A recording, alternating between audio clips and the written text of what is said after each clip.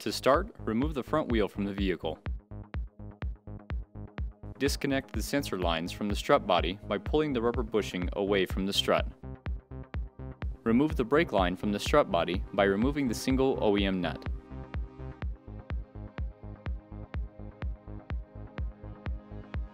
Remove the nut and bolt holding the strut fork to the lower control arm. Detach the sway bar end link from the lower control arm. In order for enough suspension droop to allow the strut to be pulled out, you will need to unbolt the upper control arm. Do so by removing the two bolts on each side of the strut. Under the hood, remove the three nuts on each side of the strut tower bar to remove the bar. It may be necessary to unclip lines from the strut bar before removal.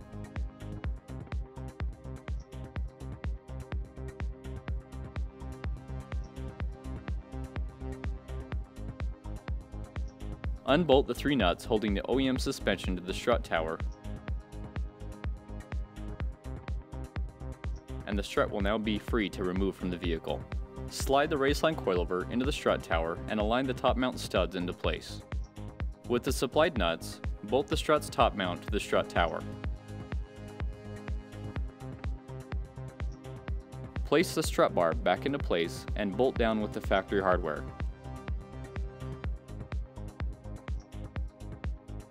Reclip any lines that were detached from the strut bar. Reinstall the two upper control arm bolts to secure the arm to the vehicle. Bolt the strut fork to the lower control arm using the factory hardware. Attach the sway bar end link back to the lower control arm.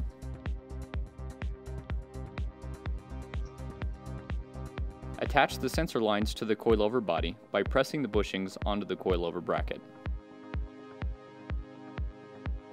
Remount the brake line to the coilover using the factory nut. You can now reinstall the front wheel as this corner's installation is complete.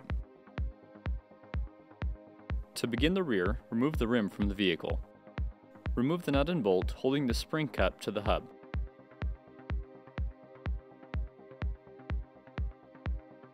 Keep in mind, the spring will be loaded, so it is a good idea to have a jack underneath to release the tension.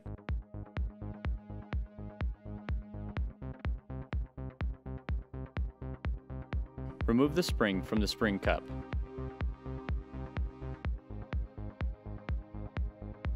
Detach the shock fork from the control arm by removing the factory nut and bolt. Remove the two bolts holding the rear shock's top mount to the shock tower and the shock can be pulled from the vehicle.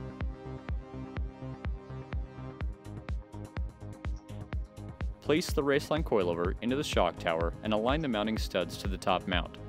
Reinstall the two nuts to secure the mount to the tower.